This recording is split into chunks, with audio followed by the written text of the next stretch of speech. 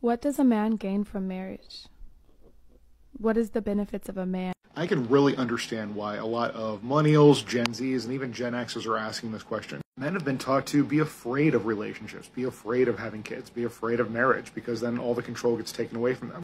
And by the same token, women have been taught to be independent. You don't need a man. The assault on America right now is about attacking the nuclear family, making women think they don't need men, and making men afraid to be with women.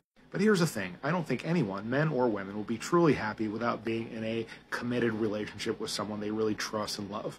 In our society, that commitment is called marriage, and that's also been under assault for the last 70 or 80 years.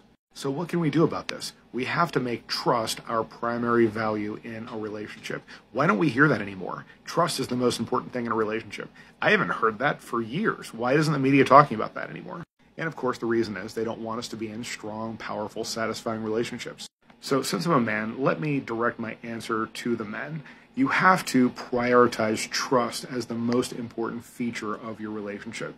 That might not be the only thing that's important, but it's the most important if you want to have a long lasting, satisfying relationship. Trust, trust, trust. That's what you have to go for.